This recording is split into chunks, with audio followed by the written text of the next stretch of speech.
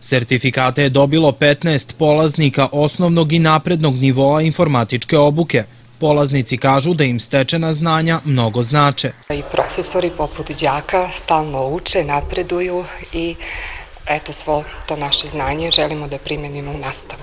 Šta ste sve naučili tokom ove dvomesečne obuke?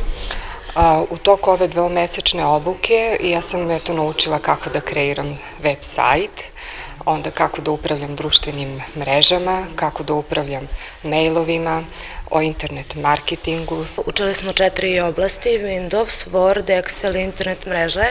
Imala sam neko predznanje, ali sam, zahvaljujući ovoj obuci, usavršila svoje znanje i samim tim rezultati su to i pokazali. Posle uspešno završenog prvog ciklusa obuka, u planu su i nove, kaže Bojan Manić iz ovog centra. Mi smo imali polaznike od, e, da kažem, e, srednjoškolaca koji su e, skoro završili srednju školu do ljudi u zrelim godinama, tako da nismo imali ograničenja po pitanju godišta. Naš slogan je da je čovjek mlad onoliko koliko je spreman da uči nove stvari. Naš cilj je, kao što znate, bio da obučimo 100 ljudi za IT sektor u Pirotu. Sada nastavljamo još jače ka tom cilju, uvodimo nove obuke.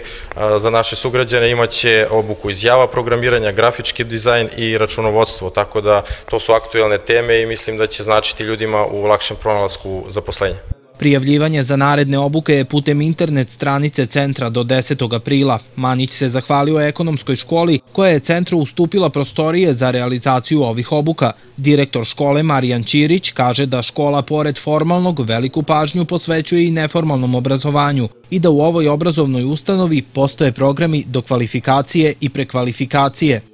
Osim toga, naša škola je e, veoma, veoma aktivna i u tim programima obuke, što kao partner nacionalnoj službi za zapošljavanje, znači imali smo programe gde su naši profesori bili predavači, program iz računovodstva i engleskog jezika. E, ovog puta smo imali e, priliku da budemo partner da stvorimo tehničke i materijalne uslove za održavanje ove obuke, znači prepoznajemo potrebu tržišta rada, potrebu tih ljudi kojima je potrebna ta obuka.